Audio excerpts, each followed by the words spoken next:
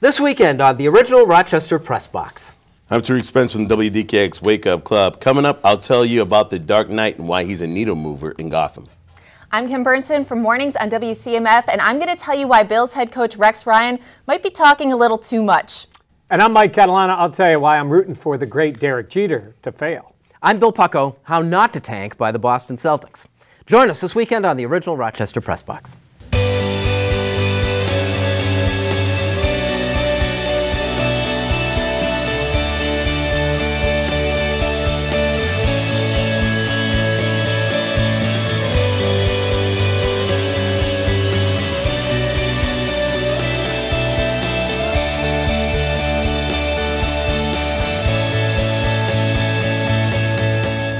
Welcome, everyone, and thanks for joining us in the original Rochester Press Box. I'm Bill Pucko, joined this week by Kim Berntson, who is from WCMF in the break room in the morning. Thanks for joining us. Good How's to have you back, going? I'm glad to be back. It's fun. And also the uh, the Vision High School Sports Beat. Yep. Contributions there. Mike Catalana, co-anchoring with me here from Yeah.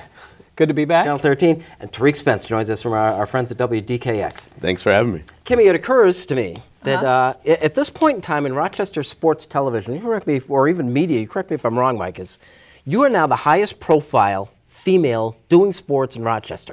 I am? Yeah, I, I mean, as, as amazing Okay. as that sounds, and, and what I wanted to ask you is like, uh, well, first of all, how does that feel? And second, like, how come do you think that females are playing such a smaller role in sports media these days? Are you implying that it's it's becoming smaller, or it's just it's been small for a long time? I, I think it's been small since Tracy Bush left town. Yeah, yeah. I mean, it's it has been. Uh, there's only been a few full time. You know, Robin. There's no Joanne. writers, and, and Robin went in unwillingly. Right. There are no writers on either of the two daily papers. There's nobody doing television.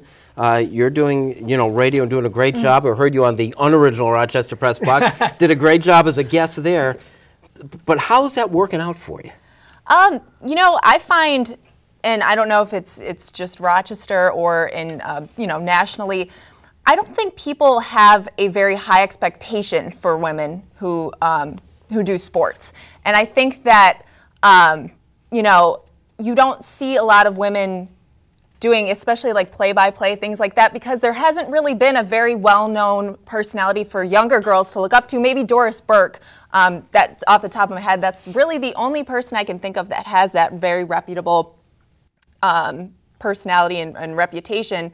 Um, but you see a lot of girls growing up now wanting to be sideline reporters because you know those are the, the kind of almost like the glorified um, positions for a woman um, why we haven't seen it grow more, I think because men don't want to listen to women really about their opinions about sports so much. And maybe that's changing, but I don't really see it so much even with my generation. I think guys want to hear the, the hard takes from other men.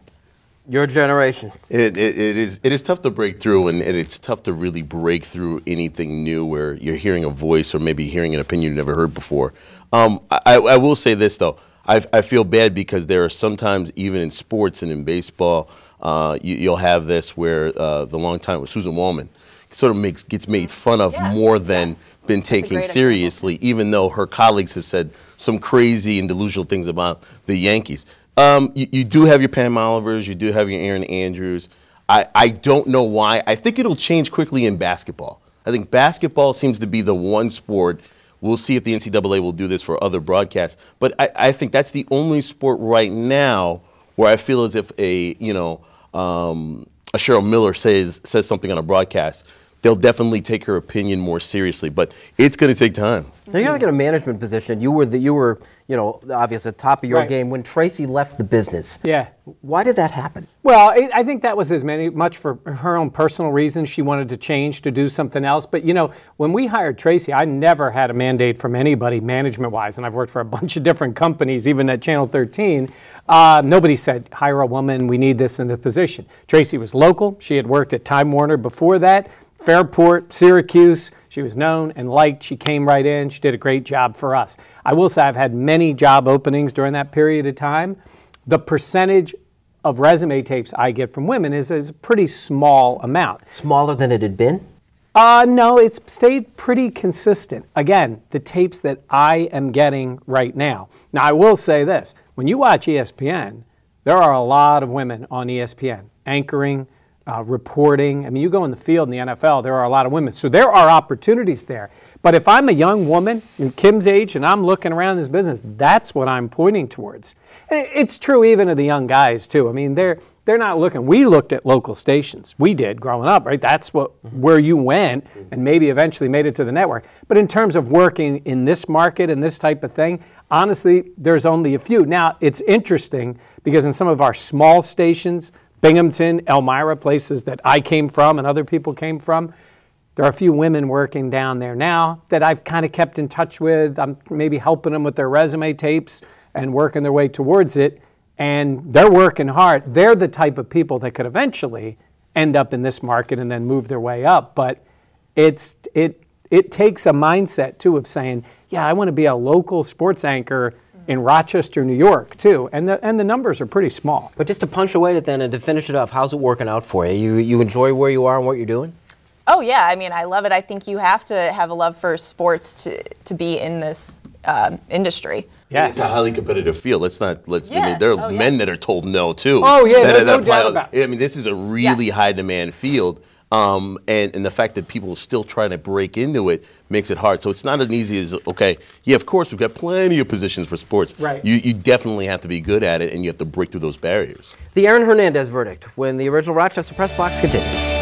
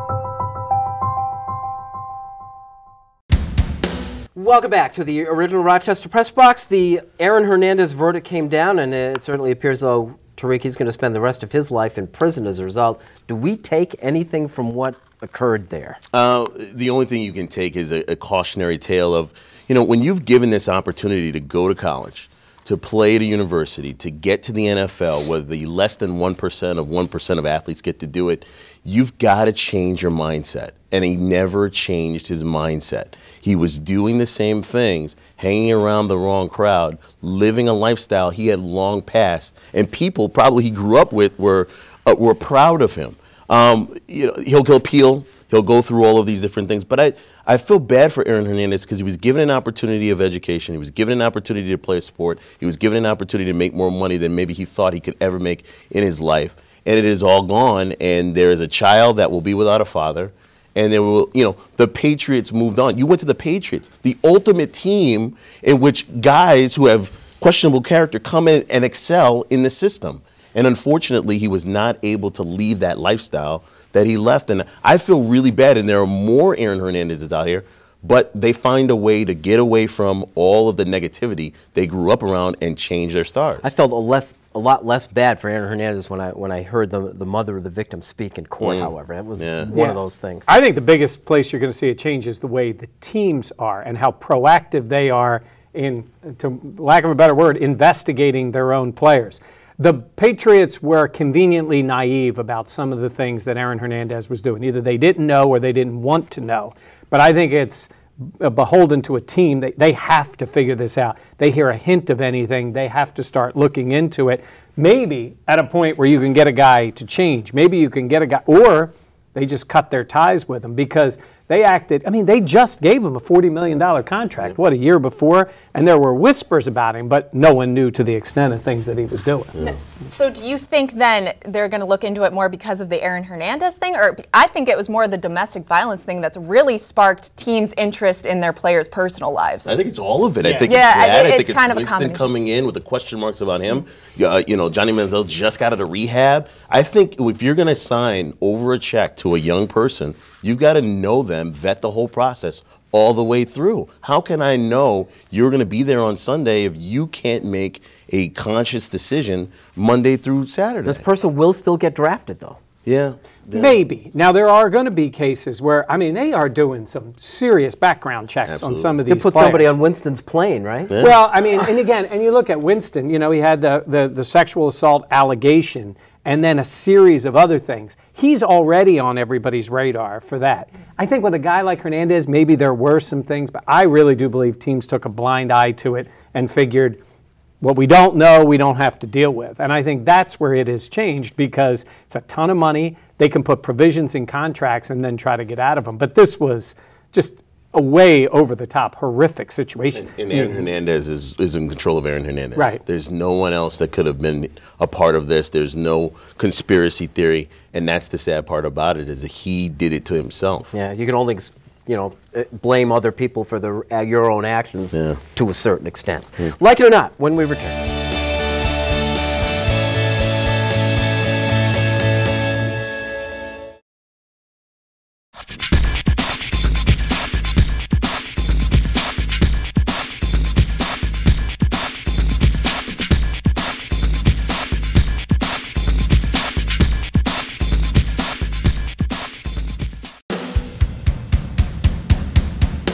Welcome back to the original Rochester Press Box. Like it or not, Michael, the, the Ted Nolan experience in Buffalo. Well, it, it, it was going to end this way. I mean, Ted Nolan, Tim Murray inherited him. Tim Murray's going to want his own guy in there. I kept saying Ted Nolan did not get fired because the team finished 30th back to back seasons. He, he was somewhat set up to fail, but it was almost if Murray was just saying, I'm getting my whole team, you coach it, I'm getting my whole plan together, and we're going to start moving forward. And I believe we'll hit that place as this you know, lottery happens and we see what happens going forward. It is all about going forward. Murray wants his own guy to be coaching all these young players, setting the tone for the organization.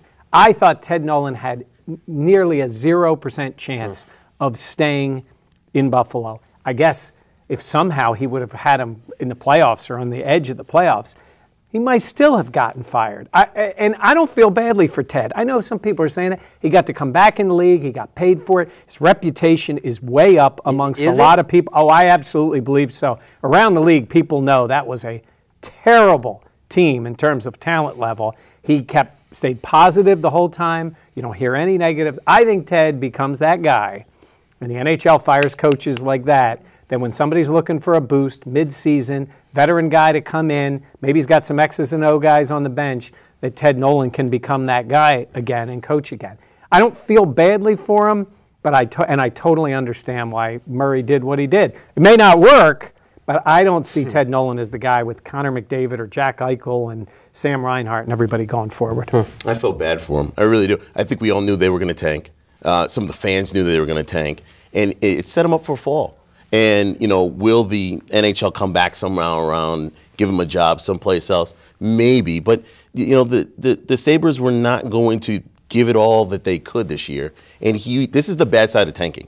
You know, people are just like, oh, sure, you know, the, I'm loyal to the company, I'm loyal to the team, they'll take care of me. They know it's going to be a down year. They weren't loyal to him. They weren't going to be loyal to him. but here's the difference. We, we, I compare it all the time the Sixers and the Sabres, tanking teams, organizations. Brett Brown was hired by Sam Hinkie as his guy. They've lost a ton of games in two years.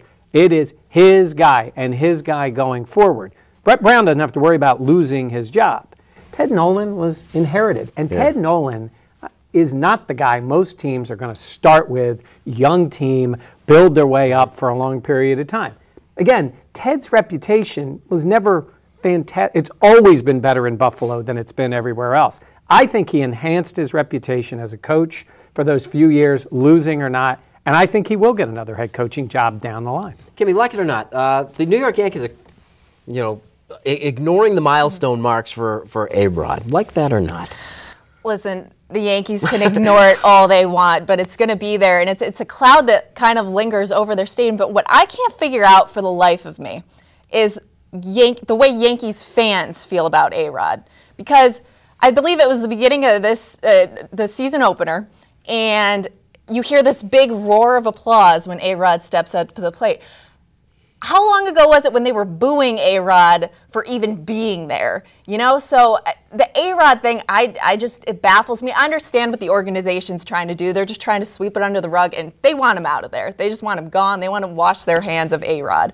But the Yankees fans are what really confuse me to say. Don't you think that reaction makes them look even worse? Yeah. I, I, I- think you know, the funniest thing about this is that I'm actually angry at the Yankees. He's still on your team. You're still going to pay him. Mm-hmm. So embrace him. The the Yankee fans. What else do you have to cheer for? Tanaka's out. He's not playing. He's not playing very well. Jeter's retired. They have nothing to cheer for but A Rod. Yeah, I, I would rather see. You know, sometimes it's okay to be a little indifferent. And I know A Rod's like the last person anybody's going to be indifferent. But like when Ryan Braun came back to the Brewers, Cheers. he gets a standing ovation. I mean, I don't mean you got to boo him for every step he takes to the plate, but does he deserve a standing ovation? I'm with Kim. When I saw that with A Rod, I was like, I was, I, I is it didn't because see it coming. they lack any sort of star power on that Yes. team? This is the- this is all they have. But that doesn't mean you have to cheer for them. Eh, right, and really Have you really seen cheer. the ticket Yeah. prices? I'd have to cheer for him. I I mean, in pursuing Willie Mays in the home run race isn't something you can kind of just like, hey, it doesn't exist. It exists. you Yeah, know? but there is a difference between really pumping it up, building it up, you know, A Rod and selling tickets and all around it, and just kind of letting it happen. I think it's just going to happen. Yeah. Unfinished business when we return.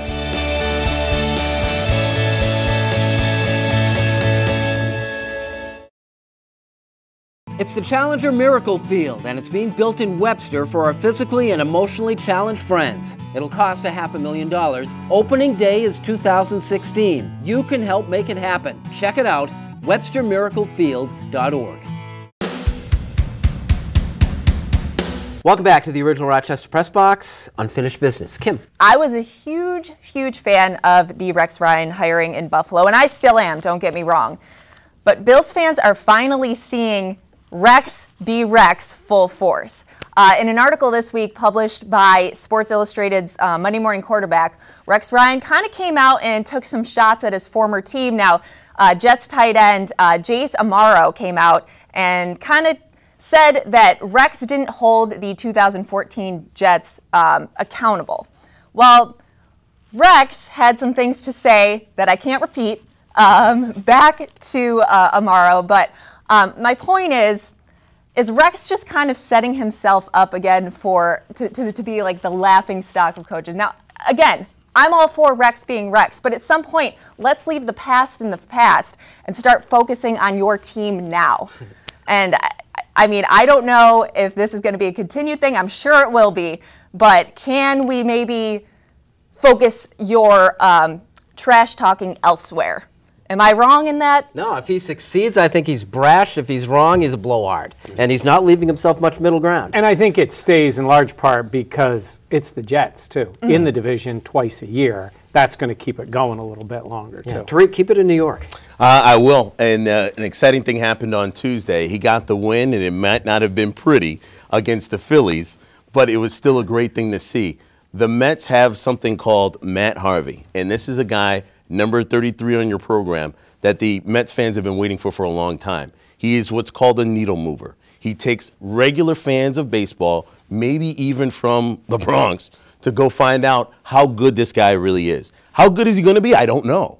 But what he's brought is a lot of excitement and a lot of fans to the seats on a Tuesday night when it's really too cold. Wait till things start heating up in the summer. Now, for the Mets, I'm not quite sure how well they're going to do. David Wright has a hamstring injury, but we're not really worried about this season. It's all building for next year. Harvey's not even going to pitch nine innings. He's probably going to go six or seven. But it's the excitement, it's the buzz, it's the name. It's not a Yankee, it's a Met. And it's been about two decades since a Met has been the focus of a team in New York. Matt Harvey's that guy. The Dark Knight is in Gotham. You know, it was next year, last year, too. Yeah, true, true, true. Leave him alone. He can't talk about the All right. Knicks anymore. One day at a time. Yeah. Uh, I don't like the Players Tribune. I don't like this Derek Jeter thing that he has set up. And here's the main reason why I don't like it. If you're unfamiliar with it, it's Derek Jeter's setup of an organization and a website that allows the players to speak unfiltered to the public. In, otherwise, it, in other words, it's more than 140 characters in Twitter. And we've seen how well it works out to have the players unfiltered sometimes talk to the public. The problem I have with it is when it ends up coming out, what it is is an interview done by a producer and a writer with a player, and then that article is written by that producer or writer who does not get a byline, and it's attributed to the player. In other words, as I saw mentioned on Fox Sports 1 this week, it's a press release. It's basically what it is. It's guys like, oh, I don't know, Big Poppy, who tells the whole world how he's been wronged by baseball and there is no issue with him with performance enhancing drugs. And maybe that's true, but in a real article, you could have all of David Ortiz's comments and maybe the other side of it. Look, Derek Jeter thinks this is going to work, and maybe for him it will because everything seems to work out. But in the end, it's kind of funny to me to see a guy who survived 20 years in New York City with arguably more positive press than any athlete in our lifetime is the guy who's worried about players not getting a fair shake from the media. I don't think this really is a single voice from the players. I think it's as much a PR machine, and I think in the long run it'll work out as well as the Players Lounge restaurant he's trying to set up in Tampa. Hey, Ted Nolan succeeded at it. How not to tank by the Boston Celtics. Coach Brad Stevens was given a perfect hand by Danny Ainge. Traded away all his stars, gave him a team he couldn't win with. At midseason, he traded away the two best players he had and left him with a team that could not possibly qualify for the NBA playoffs and the lottery pick that comes with it. So the Celtics finish up their season by winning five games in a row to qualify for not the eighth, but the seventh position in the NBA playoffs where they get to face the Cleveland Cavaliers you know, I don't know whether to be disgusted with what the Boston Celtics, a team that I grew up rooting for, disgusted with the Boston Celtics, what they did this year, or to be proud of them. But I think what has to be said is you have to certainly respect the effort that they put in this year. That is our program. Kim, thank you very much. Nice return. We'll have you Thanks back. Thanks for having me. Michael, good Thank job. you. Tariq, good to have you. Thanks for having me back. Thanks for joining us. We'll see you next week on the original Rochester Press Box.